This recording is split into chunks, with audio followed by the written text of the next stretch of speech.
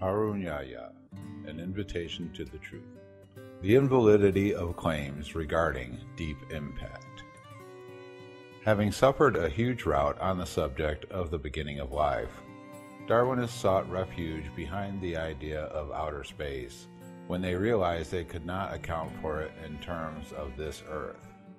Deep impact is the false scientific name given to the myth that life came from space, espoused by Richard Dawkins. Darwinists placed their hopes on outer space out of total despair. They believed that all the questions about their theories of the origin of life would thus be solved. But the essential problem still remains in this new theory they have invented. How did the first molecule assumed to have formed and replicated itself in space emerge? That question is still unanswered. Factors such as the complexity of proteins, the fact that they are extraordinary structures that could never come into being spontaneously, the fact that the atmospheric conditions in which Darwinists claimed that life on Earth emerged are invalid, and the presence of large quantities of oxygen in that atmosphere have extinguished all such hopes on the part of Darwinists who believed they could account for the beginning of life in some way. For that reason, Darwinists who place their hopes in creatures from space have to accept that, in one sense, they have no explanation to offer. Depicting this as a logical theory is a really pitiful state of affair for Darwinists to be in.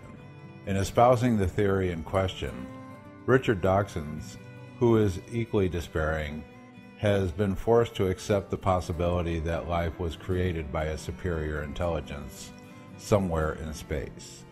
The idea of outer space is proof of the end of Darwinism. Darwinism has clearly reached the end of the road with that claim, because it is an admission of despair. The lack of any explanation for the beginning of life has demolished Darwinism. In talking about chance and outer space, Darwinists appear to have run out of nonsensical and humiliating options. Darwinists are, of course, aware of the illogicality of these claims. Of course, they are aware of an illogical claim they are espousing and how embarrassing this is for them. But they are willing to be humiliated for the sake of their ideology.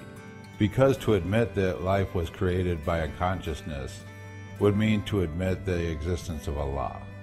And that is the truth they really cannot accept that they oppose with all these ludicrous claims. The fact is, however, that it is a great blessing to see the existence of Almighty Allah by examining the scientific evidence. Every marvel of creation and miracle in nature imparts its own unique delight.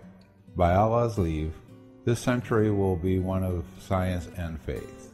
When all these ludicrous claims come to an end, when the glory of Allah is praised, when there is splendid progress in science, and when the evidence of the fact of creation is seen in a most glorious way. www.harunyahya.com